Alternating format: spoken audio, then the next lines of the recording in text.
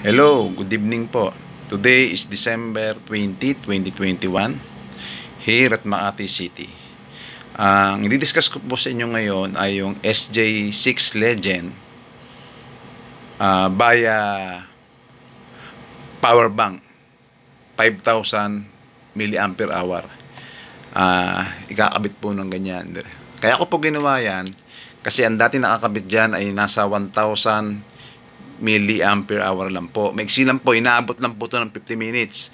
Kaya, ang nangyayari, bubuksan po natin yung ating uh, action camera, magpapalit tayo ng battery.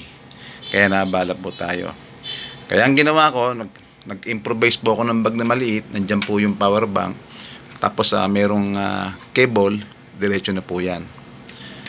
Yan. Uh, powered by uh, power bank away.